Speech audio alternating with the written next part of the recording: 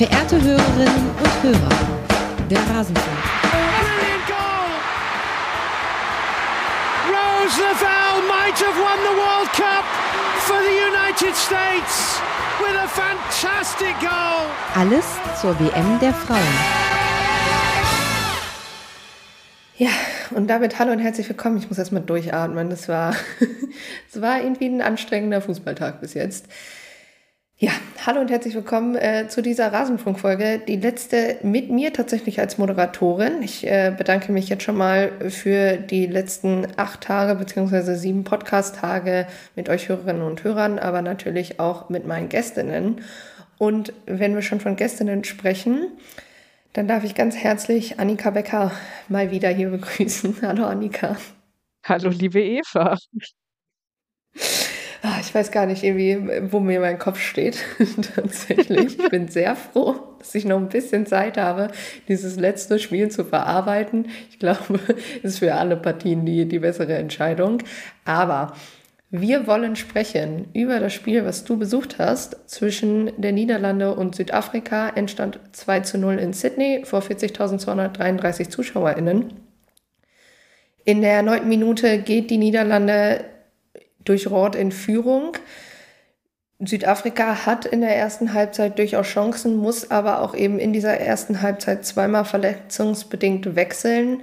Und in der zweiten Halbzeit kann dann in der 68. Minute Behrenstein zum 2 zu 0 treffen. Annika, wie würdest du dieses Spiel bewerten? Ähm, ja, also ich glaube, dass am Ende aufgrund der zweiten Halbzeit die Niederlande das verdient für sich entschieden haben. Aber zwischendurch in der ersten Hälfte habe ich das anders gesehen. Also ähm, da haben sie mir nicht so gut gefallen. Ähm, das hat auch Andries Jonker selbst nach dem Spiel so gesehen und eigentlich ja irgendwie auch ähm, ähnlich bewertet wie ich. Also er hat gesagt, dass sie nicht äh, das Spiel gezeigt haben, dass also das, was sie sich eigentlich vorgenommen hatten. Und ja, also sie haben halt sich sehr wenig äh, bewegt, sehr wenig freigelaufen, ähm, war sehr langsam in ihrem Passspiel, ähm, sehr behäbig und Südafrika hat es dann in der ersten Hälfte sehr, sehr gut geschafft, dadurch ja, so das ähm, Mittelfeldzentrum eigentlich recht äh, dicht zu halten. Viele Ballgewinne hatten sie und haben dann halt immer direkt versucht, umzuschalten und ja, so die äh, Flügel zu bespielen, ähm, also zu kontern. Und haben das richtig gut gemacht, hatten da auch irgendwie einige Chancen, die sie eigentlich hätten verwerten können oder vielleicht noch besser ausspielen. Ähm, ja, und da habe ich eigentlich so gedacht, okay, krass, dafür, dass es diese zwei schweren Verletzungen gab, lassen sie sich davon wirklich kaum was anmerken und hätten irgendwie verdient, dass es eins zu eins steht mindestens in der zweiten Halbzeit sah das dann halt schon sehr anders aus. Also da hat man dann gemerkt, dass so die Niederlande sich in der Halbzeit echt nochmal was vorgenommen haben. Sie haben es danach einfach sehr viel besser gemacht. Also da war viel mehr Zug drin, viel mehr Bewegung. Und dann, ja, hat Südafrika das dann eigentlich auch kaum noch geschafft, ähm, diese Umschaltsituation zu bekommen. Also ein, zweimal gab es das noch, aber längst nicht mehr so oft und so gefährlich wie vorher. Und da hat man dann irgendwann auch gemerkt, dass die Beine schwer wurden nach dem, was sie da vorher die ganze Zeit abgerissen hatten. Ja, würde ich vollkommen mitgehen und gleichzeitig ähm, in den Momenten, wo ja gerade Kaklana dann eben immer wieder gut vorne in Szene gesetzt wurde, war Van Domsela auch wirklich brillant, wie ich fand. Ja. Also da gab es zwei, drei Szenen, wo sie richtig, richtig gut hält, ähm, den Weg einfach zumacht, das kurze Eck zumacht, lange stehen bleibt ähm, und dann erst quasi im letzten Moment runtergeht und damit so einfach Kaplana auch zum, zum, zum Abschluss zwingt, beziehungsweise gab es, glaube ich, auch in der, in der zweiten Halbzeit so ein Ding, das, das, das haben wir letzte Woche gegen Italien gesehen, ähm, dass das eigentlich immer wie, also man soll natürlich nicht von hundertprozentigen sprechen, aber einfach so, ein, so eine Torchance, wo wir, wo wir eben schon in diesem Turnier gesehen haben, dass das auch gerne mal reingeht. Und ähm, ja, ich finde, das, das war eine, eine sehr, sehr gute ähm, Torhüterinnenleistung von, von, von Domsela. Ja, sie ist ja auch ähm, Spielerin des Spiels äh, geworden.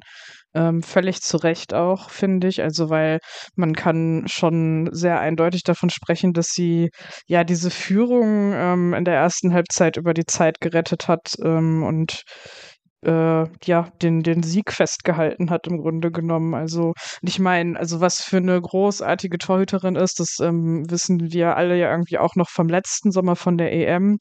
Ähm, ich finde aber, dass man bei ihr auch irgendwie schon merkt, dass da jetzt so, so eine Entwicklung auch nochmal stattgefunden hat ähm, in dem Jahr, also dass sie nochmal so an Sicherheit auch gewonnen hat ähm, und irgendwie noch mehr Ruhe ausstrahlt, als sie das zu dem Zeitpunkt ja sogar auch schon gemacht hat. Also die hat mir richtig, richtig gut gefallen.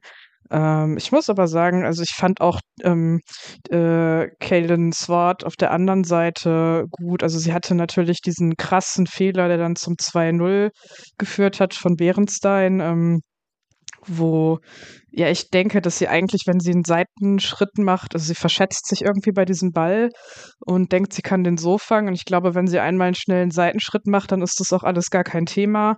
Aber so ähm, sieht es halt total doof aus und der geht irgendwie an ihr vorbei ins Tor. Ähm, trotzdem finde ich aber, dass sie auch eine richtig gute Leistung im Tor hatte. Also hatte auch ähm, gar nicht jetzt mal so viele Paraden, weil die Niederlande nicht so viele ähm, Abschlüsse hatten wie im Südafrika, aber die hat mir im Spielaufbau richtig gut gefallen. Also sie hat richtig gute Abschläge, hat damit auch ein, zweimal Angriffe eingeleitet und ja, muss sich, glaube ich, jetzt auch trotz des Fehlers nicht äh, schämen. Nee, definitiv nicht. Und ich fand auch gerade, ähm, dass sie immer wieder richtig eigentlich auch rauskam. Also, dass ihr Stellungsspiel an sich auch, auch gut war, dass sie immer die richtigen Momente abgepasst hat ähm, wann komme ich jetzt raus, wann stelle ich zu. Und äh, ja, zum Beispiel auch, also ich finde auch das 1-0 an sich ein bisschen unglücklich, weil eigentlich ist es gar nicht schlecht gemacht, wie eben noch eine Spielerin auf der Linie steht und ja auch im ersten Moment klärt. Das ist dann halt einfach, ich meine, die Niederlande bringt halt auch durchaus Qualität mit und das Rot danach einfach handlungsschneller ist, da, da kannst du einfach nichts machen. Ne? Also das ist einfach, das ist dann eine gute Variante von der Ecke gewesen, die als, als Ärzteinstanz halt schon sehr gefährlich wird. Und wenn dann so ein Abpraller, da kannst du halt einfach wenig machen. Aber ja, ich würde auch, also wie gesagt, auch gerade Südafrika, ich finde, die haben dieses Spiel extrem spannend gemacht. Ist für sie natürlich extrem bitter, wie du schon gesagt hast. Ich hätte auch gesagt, in der ersten Halbzeit wäre definitiv ein Tor verdient gewesen. Mit der Verletzung von Siopo Samuel wurde es natürlich extrem schwierig auch, weil ähm, ihre Steckpässe auf Katlana einfach immer so perfekt getimt waren. Also das war, das fand ich einfach immer wieder schön mit anzusehen, wie dann ein Pass einfach auch komplett die Abwehr von den Niederländerinnen auseinandergenommen hat. Ähm, aber eben muss man auch, auch äh, den, der Niederlande dann eben das Lob zugestehen, dass sie sich dann gut auf diese, diese dieses südafrikanische Team eingestellt haben in der zweiten Halbzeit und man durchaus eine, eine Verbesserung gesehen hat und eben Südafrika, glaube ich, in Halbzeit zwei zu, zu kaum noch wirklichen, also bis auf in der Nachspielzeit, glaube ich, noch zu richtigen Torchancen kam und wie gesagt, hat eben auch was mit den, mit den verletzungsbedingten Wechseln zu tun. Ist dann natürlich schwierig, wenn du zweimal wechseln musst in Halbzeit eins und dir vielleicht die, die taktischen Überlegungen, die du dir zum Teil gemacht hast, dann auch einfach in der zweiten Halbzeit nicht mehr aufgehen. Aber wie gesagt, ich finde, das klingt immer so ein bisschen blöd, aber ich finde, Südafrika kann sich durchaus immer noch erhobenen Hauptes von dieser WM verabschieden, weil auch das war eine, eine mindestens über 50 Minuten eine, eine extrem starke Leistung von dem Team. Ja, auf jeden Fall. Also ich denke, durch die Verletzungen ähm, hat ihnen die Möglichkeit gefehlt, in der zweiten Halbzeit nochmal nachzulegen, weil ich glaube, dass das schon ähm, Wechsel sind, die wir auch so vielleicht gesehen hätten. Also jetzt vielleicht nicht ähm, eins zu eins so, aber dass die beiden Spielerinnen, die gekommen sind, dann auch ähm, reingekommen werden äh, trotzdem. Also das waren Shongwe und Marco Buela. Ähm, aber ähm, so war das jetzt halt nicht möglich und das war dann auch mit so einem Grund, warum am Ende die Energie ausging. Und bei den Niederlanden war es so, dass in der zweiten Halbzeit ähm, ja sie einfach sehr viel direkter gespielt haben, ist so das eine. Also sie haben sich vorher immer sehr viel Zeit am Ball gelassen und dann ähm, konnte Südafrika da drauf gehen und hatte halt, wie gesagt, sehr, sehr viele Ballgewinne. Also da hat mir gerade so das zentrale Mittelfeld sehr gut gefallen mit Biana und ähm, Gamede. Gamede. Ähm, die hatten beide sehr viele Ballgewinne. Ähm, aber dann haben halt die Niederlande es auch ein bisschen anders gemacht in der zweiten Hälfte, so von der Art, wie sie sich aufgeteilt haben im Mittelfeld. Also, dass es eben ähm, auch leichter möglich war, diese direkte Anspielstation zu finden. Also, da hat mir Daniel van de Donk richtig gut gefallen. Ähm, ich finde, die hatte einen sehr, sehr großen Anteil daran, ähm, dass sich das Spiel dann in der zweiten Halbzeit anders angefühlt hat und halt mehr ja in Richtung der Niederlande rübergeschwankt ist so. Und da finde ich es dann halt ähm, ja für die irgendwie ganz interessant. Also es geht jetzt dann ja als nächstes gegen Spanien im Viertelfinale und genau Van de Donk ist jetzt gelb gesperrt, also hat sich eine gelbe Karte abgeholt. Ähm, ist ihre zweite. Und die werden ja erst nach dem Viertelfinale gestrichen, die gelben Karten. Dementsprechend fehlt natürlich dann eine sehr wichtige Spielerin da im Aufbau von den Niederlanden.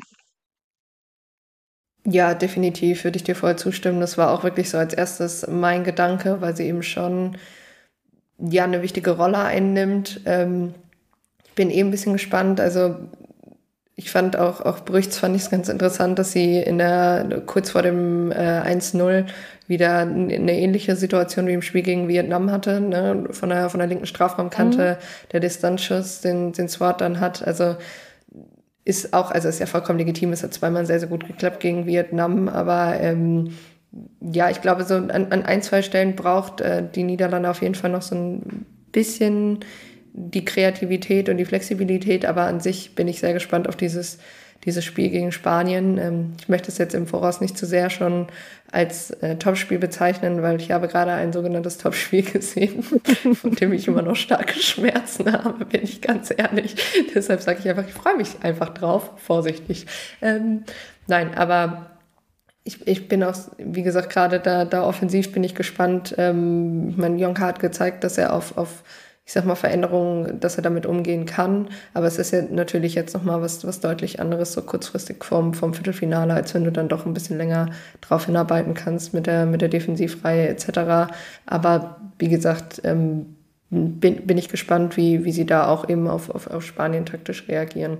Ähm, eine Sache wollte ich ganz schnell noch sagen, ähm, und zwar vielen Dank an, an Steffi Barczyk, die in der Übertragung ja quasi wie so eine kleine Trägerwarnung ausgesprochen hat, als das Foul von Bahne oder beziehungsweise die Verletzung von Bahne nochmal gezeigt wurde und ähm, sie ne, kam dann die Wiederholung rein und dann den ZuschauerInnen gesagt hat, ja, guckt, guckt jetzt lieber weg, wenn ihr sowas nicht so gut sehen könnt. Und das finde ich eigentlich ganz, ganz, ganz gut, weil ich ja Verletzungen angucken, die irgendwas mit Füßen etc. zu tun haben oder generell gucke ich auch nicht so gerne hin und fand es dann sehr schön, dass es da irgendwie nochmal eine Vorwarnung gab.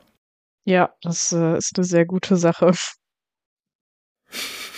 Ja, ist halt einfach, ja, wie gesagt, an der Stelle auch nochmal gute Besserung. Ich meine, ich hätte sie nachher, also im Bahne, ähm, humpelte dann irgendwie mit, mit oder am Gehstützen irgendwie Richtung ähm, Bank, also dass sie zumindest einigermaßen Mithilfe gehen konnte. Es ist ja zumindest etwas, aber trotzdem, also gute Besserung an, an beide Spielerinnen auch da wieder. Das ist halt einfach doppelt bitter, wenn du, wenn du dich dann auch noch verletzt. Ähm, das, das ist einfach nicht schön und da hoffen wir, glaube ich, alle, dass das äh, nichts Schlimmeres ist und sie möglichst schnell nach allen Vorsichtsmaßnahmen wieder auf dem Platz stehen kann.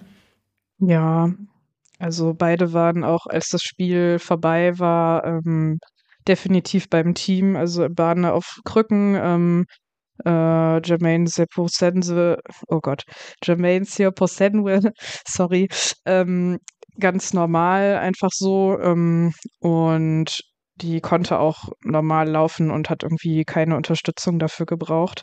Und ähm, ich fand da ganz schön, also natürlich ähm, wurden die Niederlande sehr gefeiert, weil sie weitergekommen sind, aber Südafrika hat halt auch so eine richtige Ehrenrunde durchs Stadion gedreht und die wurden auch richtig, richtig äh, herzlich verabschiedet, so vom, vom ganzen Stadion.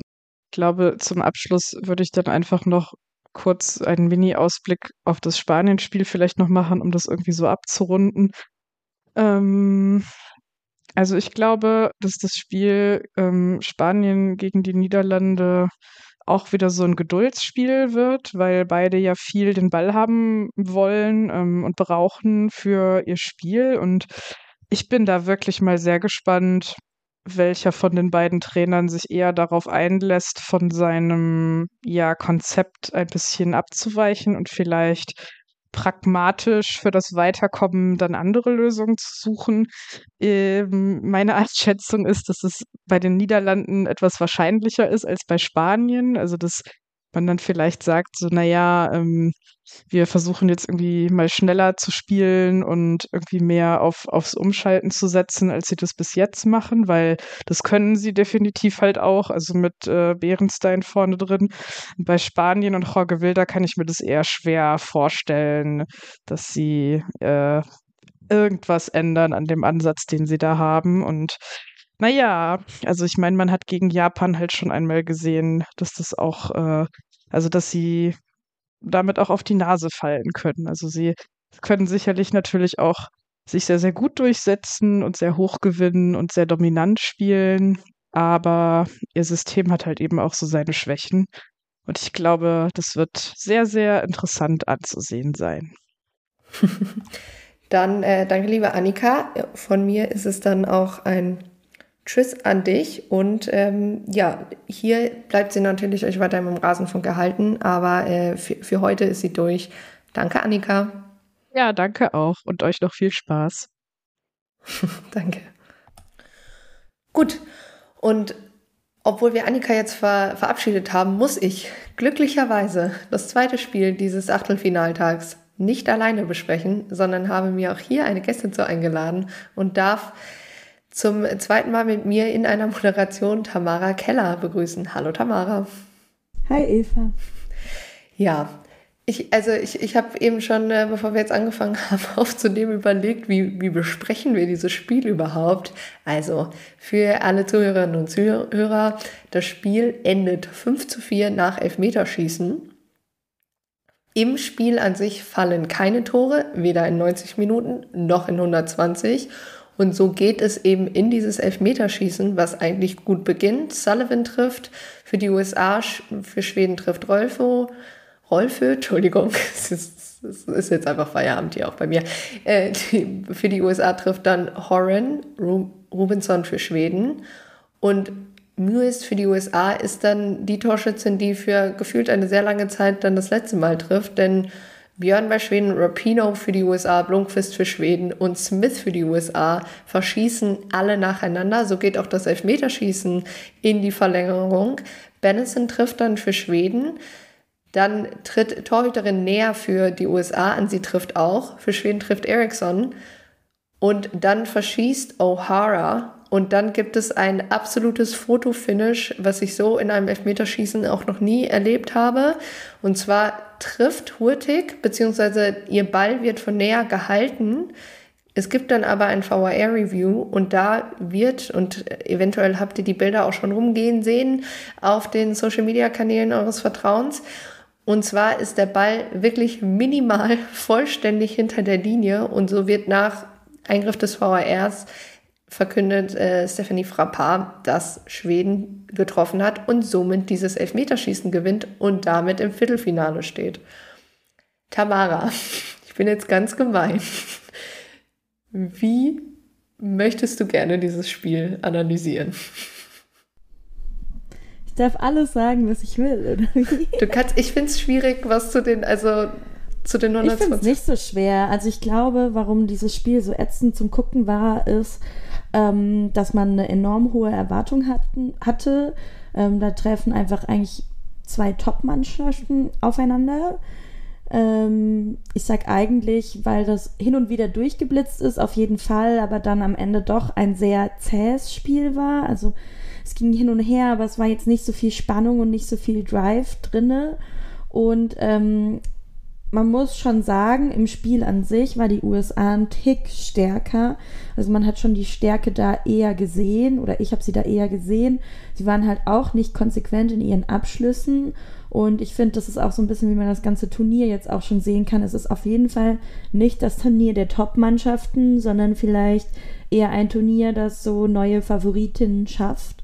Und ich finde es aber auch, also ich weiß nicht, als Zuschauerin, äh, ich habe für USA getippt, aber für Schweden quasi die Daumen gedrückt, weil ähm, es schon mehr Spaß macht, auch irgendwie mal so einen frischen Wind zu sehen. Und ich glaube, es gab jetzt auch die letzten Tage viel Analysen zum deutschen Team und so. Ich glaube, es ist ein wichtiger Faktor, es ist nur einer Faktor von vielen, warum die Top-Mannschaften nicht mehr so dominieren, ist, es gab sehr viel mehr strukturelle Veränderungen auch weltweit im Fußball der Frauen. Und das sehe ich als eine super positive Entwicklung, dass es halt nicht mehr so ist, dass man jemanden super leicht ähm, schlägt und äh, dass die anderen Teams auch ähm, eher damit taktisch äh, zurechtgehen, dass sie halt äh, hinten eher vielleicht auch zustellen, sag ich mal so, aber auch wirklich ein Team eher so taktisch aushebeln, indem sie halt dann eben so ein Unentschieden oder so provozieren. Und ich hatte schon auch den Eindruck, dass Schweden wirklich auch das Elfmeterschießen am Ende auf jeden Fall wollte. Ähm, ich habe trotzdem ein ähnliches Level bei beiden Teams gesehen.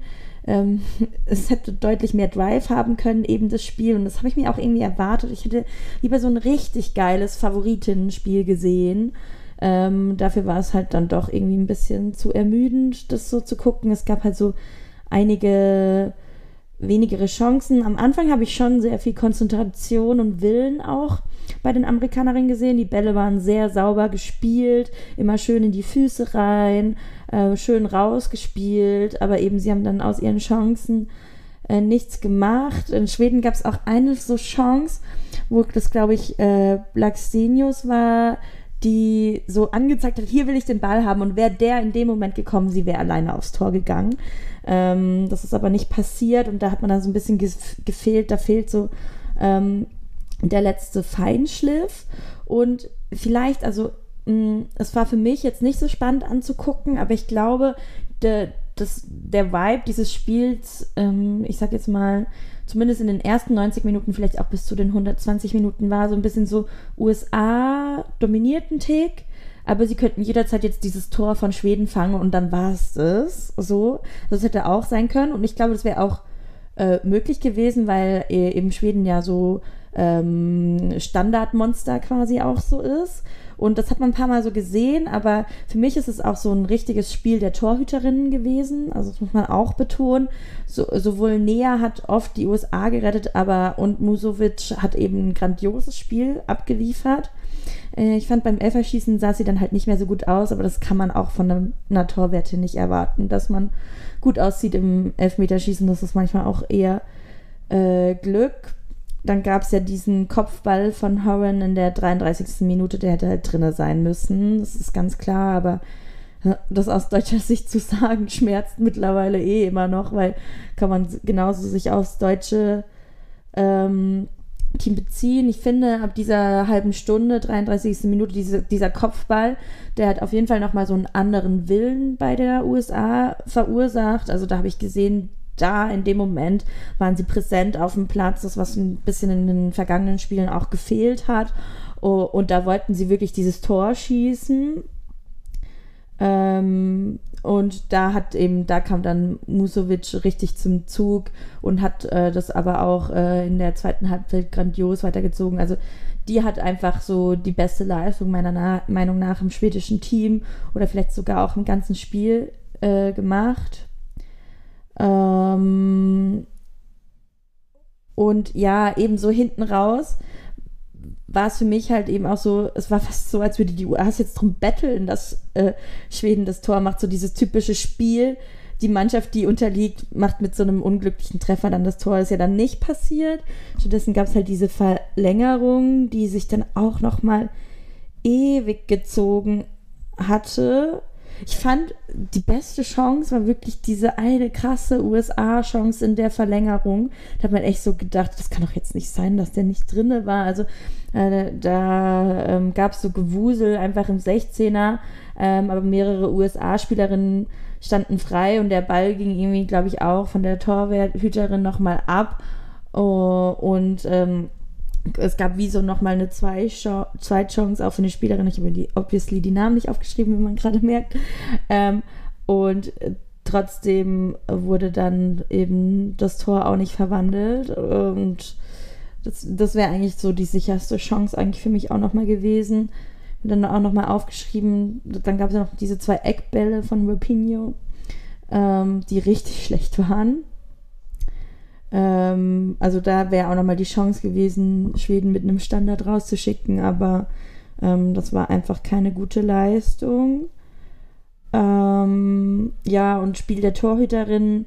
Ich fand beim Elferschießen war eben Sanea deutlich sauberer aus. Ähm, als, als jetzt äh, Musovic ähm, hat mich da mehr überzeugt, auch wenn es am Ende jetzt richtig unglücklich für sie ausgegangen ist. Ist ja auch richtig ärgerlich, dass sie ihn eigentlich quasi auch so berührt hat, dass er halt hinter die Linie ist. Und crazy auch, ich habe auch noch nie sowas gesehen. Ähm, man musste ja auch richtig lange warten, bis das Beweisbild kam. Und das war nur so, ich will das nochmal sehen. Das sah ja im ersten Moment überhaupt nicht so aus oder halt so ein bisschen nur. Man konnte so, ja, vielleicht über die Linie, aber nicht so wirklich. Und was ich auch noch crazy fand, wie Frappar eben die Torhüterin, also Musovic, dann vor dem ersten Elfer wirklich auch nochmal so ermahnt hat und so. Das fand ich echt schon so aufdringlich, dass es vielleicht doch auch die Konzentration in so einem Moment dann wirklich stör, stört. Ähm, ja, das ist so das, was ich dazu sa zu sagen habe. Ich merke, wie du einfach leise bist, Eva. Das ich weiß nicht, was man sonst noch so dazu sagen soll. Also ich fand, es war ein richtig geiles Elfmeterschießen. Und ähm, ich mag Elfmeterschießen. Ich hätte es mir jetzt heute nicht so gewünscht. Ich weiß nicht, ob es eben, es ist halt so einem Spiel der Top-Favoritin nicht so ganz würdig.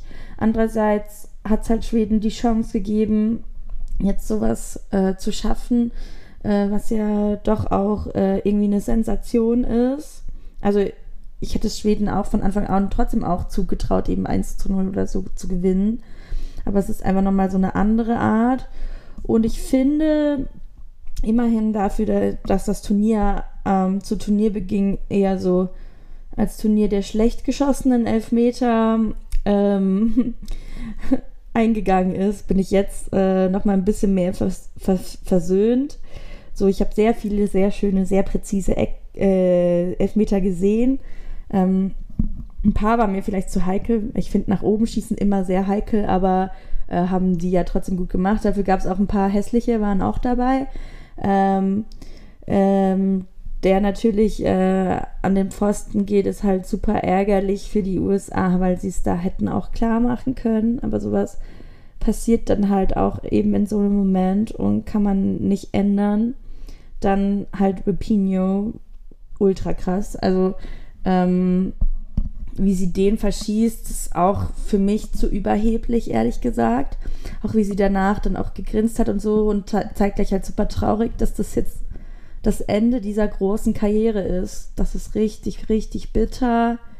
Ich denke nicht, dass es ihre vergangenen Leistungen schmälern wird, aber das ist auch so ein bisschen das Zeichen dieser WM, so wie Martha verabschiedet wurde, wie Rapinho sich jetzt hier verabschiedet auf dieser Weltbühne, nennt man es ja immer, ähm, ist schon ein bisschen schade und ähm, so, da hat man halt nicht so den schönen emotionalen Fußballabschluss und das tut mir auch für diese beiden Weltstars auch wirklich leid. Also, ähm, ja. Und ich finde, das war noch ein bisschen so interessant. Also, als ich das Elfmeterschießen geschaut habe, ich habe bei den, da bei den Schwedinnen so eher Unsicherheit wahrgenommen. Ich weiß nicht, es wirkte über dem Bildschirm so ein bisschen so. Ähm, und die waren ja auch diejenigen, die zuerst dann verschossen haben. Ähm, äh, also die wirkten einfach in ihrer Körperhaltung, Körpersprache so. Und in, in so einem Moment musst du halt selbstbewusst sein und so dir sagen, ich mache das Ding jetzt. Ähm, ah ja, Sophia Smith war das, die ja auch noch so rechts vorbeigeschossen hat von den USA. Ähm, ja, da hat USA dann auch, halt auch hinten raus so ein bisschen dann das einfach gefehlt, so das Eiskalte, aber schlussendlich muss man auch sagen, es war jetzt keine großartige Leistung, die das, das war einfach Glück, jetzt auch so ein bisschen, das ist halt beim Elfmeterschießen dann auch manchmal so.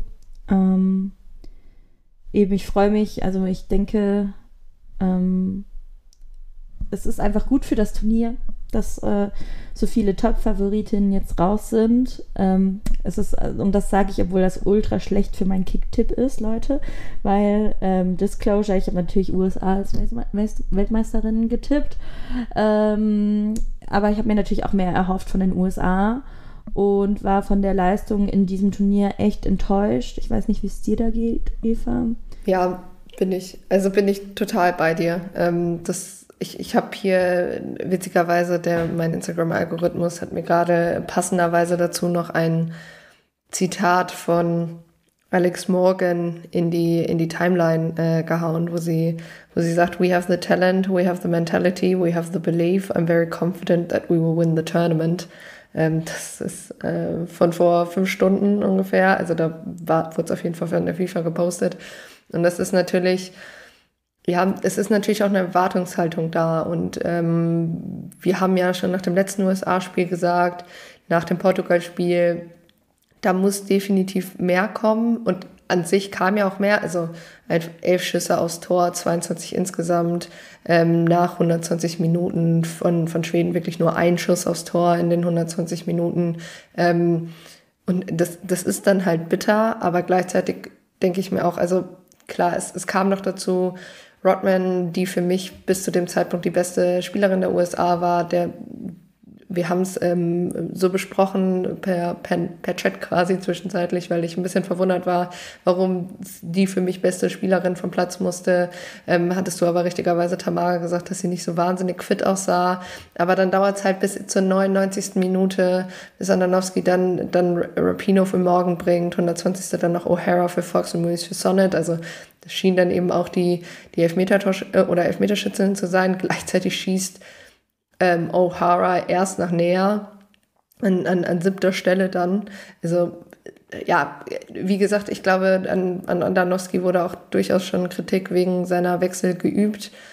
Ich finde es schwierig, ähm, mit den 120 Minuten auch das Portugal-Spiel noch inbegriffen. Ich meine, klar, sie mussten wieder umstellen, weil, das hatten wir letzte Woche auch schon besprochen, Lavelle ja natürlich gelb gesperrt war. Ähm, an sich ja, gerade Lindsay Horan war, wie ich fand, fantastisch in dem Spiel oder war eine der besseren Spielerinnen. Fantastisch ist natürlich immer ein bisschen schwierig, wenn ähm, ja, das Spiel 0-0 nach 120 Minuten steht. Aber ja, an sich, ich, ich habe halt irgendwann gedacht, egal ob USA oder Schweden, die, eine der beiden Mannschaften trifft auf Japan im Viertelfinale jetzt. Es ist jetzt Schweden und ja, ich, ich, es ist legitim zu sagen, okay, lass uns erstmal die Gegnerin machen lassen und wir verlagern uns aufs Kontern etc., Umschaltsituation, Standardsituation, alles vollkommen legitim. Trotzdem glaube ich, ähm, dass gegen Japan dieser Plan nicht so aufgehen wird. Und ja, also bei beiden Teams hätte ich nicht auf die als Gewinner bei dem Spiel gegen Japan gesetzt, weil einfach das, was ich von Japan in dieser WM bis jetzt gesehen habe, für mich reicht, um zu sagen, es wird eine sowieso extrem schwierige Aufgabe für jedes Team und in dem Spiel noch mehr. Also wie gesagt, Schweden gegen, gegen Japan ähm, wird eine, eine heftige Aufgabe auf jeden Fall für Schweden, aber ich freue mich, ich, ich, ich riskiere es nochmal. Ich habe es eben schon äh, für das andere Spiel auch schon gesagt, was wir, was wir im Viertelfinale schon haben. Ähm, ich freue mich trotzdem vorsichtig drauf, aber äh, ich werde mich hüten und noch irgendein Spiel als Topspiel zu bezeichnen. Es kann für mich erwartungshaltungstechnisch nur in die Hose gehen. Ja, ich, ich glaube, das passiert halt auch schon, ohne dass man es bezeichnet. Ne? Also ich bin einfach mit der Erwartungshaltung da rein, Schweden gegen USA und dann habe ich automatisch eine gewisse Haltung, was dieses Spiel für mich hergeben muss und das hat es heute eindeutig nicht hergegeben. Ähm, ich, also man hat heute schon auch so ein bisschen äh, Lücken in der schwedischen Abwehr gesehen, aber trotzdem würde ich sagen, diese Kombi japanischer Sturm oder japanische Offensive auf schwedische Defensive, das könnte für mich schon auch noch ein sehr interessanter Mix werden. Und ich, ich glaube, die, also die, das schwedische Team muss sich deutlich steigern, aber es hätte das Potenzial, es Japan auch schwerer zu machen, als Japan es bisher auch hatte, muss man auch sehen. Ähm, natürlich, also wenn ich jetzt so in, in die Runde bisher gucke, ist Japan auch aktuell mein absoluter Favorit, so wie es weitergeht. Ähm, ich hätte auch voll Bock, Japan gegen Spanien zu sehen, zum Beispiel. Ähm, Again. aber ich will jetzt auch noch nichts jinxen und wer weiß, also es gab jetzt schon so viele Überraschungen. Ähm, aber das wäre natürlich ein famoses Halbfinale auf jeden Fall. Ähm, ja, also es ist für mich noch nicht so klar, wie Japan, also ähm, Japan überzeugt mich in seiner Spielweise, aber schlussendlich ähm, haben die einfach so ein krasses Umschaltspiel und so nach vorne und arbeiten ja auch auf diese Konter drauf hin. Das heißt, ähm, wenn man da mal richtig ausschaltet und doch auch zum Zug kommt, glaube ich schon, dass man Japan auch schlagen kann. Ähm, und das, obwohl sie eben auch meine, also mich das absolut überzeugt, wie sie spielen, wie sie ihre Pässe machen. Und das ist natürlich auch noch ein Kontrast dazu. Ich dachte mir heute auch wieder, boah, das US-Team ist echt auch alt, aber das japanische ist ja das älteste im Durchschnitt äh, vom ganzen Turnier. Und trotzdem überzeugt es mich mehr als dieses, also das Team mehr als das, was ich heute von der USA gesehen habe. Ähm, in der gleichen Pressekonferenz wie das Zitat, was du gerade vorgelesen hat, hast. Ähm, ich weiß gar nicht, war das morgen? Doch, ich glaube, das war auch morgen. Hatte morgen auch nochmal gesagt, auch auf diese Entwicklung, auf die ich vorhin auch hingewiesen hatte, hat sie auch nochmal hingewiesen. Und ich glaube, da ist die USA echt auch gerade zu schwach aufgestellt, einfach. Also äh, entgegen der Entwicklung weltweit, da hat man sich vielleicht doch auch einen Tick zu lange ausgeruht oder hält sich einfach ähm, ja, für was Besseres oder, also für was Besseres halten, ist vielleicht ein harter Ausdruck, aber hat einen Tick die Nase zu weit oben. Also ich fand auch ein bisschen die Reaktion von Rapinho komisch nach ihrem verschossenen Elfmeter, ehrlich gesagt. Ähm, also ich will auch nicht zu viel auf solche Reaktionen geben, aber es hat mich doch erstaunt, sag ich mal. Ja, ich, ich, ich glaube, das ist, ähm, ich, mich hat es auch erst erstaunt. Ich glaube, es ist tatsächlich wenn du unter so einer Emotionalität stehst, ist, ist immer schwierig. Also ich glaube, manchmal ist das auch so eine Coping-Strategie, aber das weiß Replino ja, am besten. Voll. Und ähm, ich finde es, wir hatten es gestern schon mal, dass es natürlich irgendwie schade ist, dass vielleicht ja, man, man irgendwie nicht für, für, für eine Marta, für eine Rapino die Traumabschiede hat, die man sich vielleicht auch als neutraler Fan, als oder einfach als, als Fan dieses Sports oder de, de, der Personen an sich, muss ja gar nicht mal wirklich der Mannschaft sein und des Teams, sondern wirklich der Personen, ähm, der Spielerinnen, was sie geleistet haben. Ähm, ist, klar ist das bitter, aber gleichzeitig eben das, was du gesagt hast und was wir hier, glaube ich, auch im Rasenfunk schon mal angesprochen hat. An sich ist es ja ein gutes Zeichen, dass der Fußball der Frauen sich so weiterentwickelt, dass eben, ich sage jetzt mal, Favoritinnen oder eben auch Teams, die lange so einen Superior Status, sage ich jetzt mal, darin hatten, ein wenig eingeholt werden, weil das ist ja eigentlich das, was wir für internationale Turniere wollen, das ist das, was wir für die Ligen wollen, ja, dass, dass eben alte Mächte, sage ich mal, auch mal abgelöst werden. Und klar, es ist eben ein, ein ganz klares Zeichen in Richtung von groß, großen Teams im Sinne von, was sie alle schon geschafft haben. Ihr dürft euch nicht ausruhen, was du meintest, äh, Tamara, sondern ihr müsst einfach wirklich durchziehen und ihr, ihr dürft niemals aufhören zu entwickeln und gleichzeitig ist es eben dies, ja, dadurch, dass Leute wie Rapino, wie Martha eben dann doch irgendwann mal ihre Karriere beenden, ist eben erstens klar, okay, wir brauchen, wir brauchen neue Spielerinnen und gleichzeitig ist es eben auch, und das haben wir auch gestern schon angesprochen, das ist der Platz für junge Spielerin zu sagen, ey, ich habe jetzt ein Vorbild, das hatte vielleicht eine, eine Rapino, das ist auch das, was Martha in, einem, einem, in der schönen Pressekonferenz vor ihrem letzten Spiel gesagt hat, als ich angefangen habe, Fußball zu spielen, ihr habt keine Spiele von uns gezeigt, ähm, ich konnte mir kein weibliches Vorbild suchen. Und das ist eben das, das ist ganz, ganz anders. Und ich glaube, ich bin immer noch sehr gespannt, wie sich der Fußball der Frauen dahingehend entwickelt. Und ich denke, dass wir da auch viel Potenzial haben und auch eben, aber wie gesagt, dass auch eben eine Mannschaft wie die USA oder das Team wie die, die USA in allen Bereichen auch sagen muss, okay, gehen wir gerade den richtigen Weg, gucken wir uns diese WM an, da, da muss die Antwort einfach Nein sein. Also ich glaube, dass, gerade wenn du solche Aussagen triffst, was ja auch vollkommen fair ist, ähm, aber dann musst du es eben auch daran bewerten und ich bin mal gespannt, was da passiert ich finde, das macht ja auch mehr Spaß, ne? Also, dass es jetzt alles so un unvorhergesehen ist, macht mir als Zuschauerin persönlich mehr Spaß als das andere. Also, das ist ja auch der Total. Grund, warum man dann mit Schweden jetzt mitfiebert, weil, ja, es, ist, es bringt einfach so eine andere Würze jetzt auch einfach so mit rein. Und ähm, irgendwie ist jetzt dann auch einfach alles möglich und das ist eigentlich voll äh, das Schöne und, und macht das zu einem sehr schönen und sehr besonderen Turnier bisher, würde ich sagen. Ja, da würde ich voll mitgehen.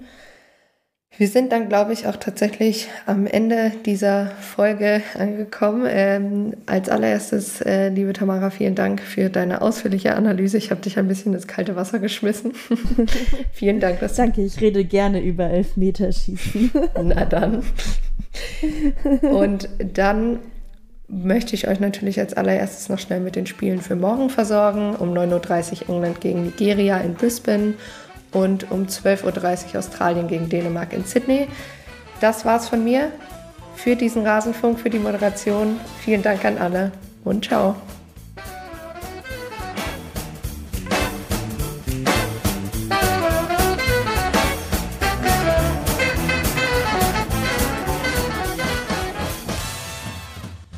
Das war der Rasenfunk. Vielen Dank für Ihre Aufmerksamkeit.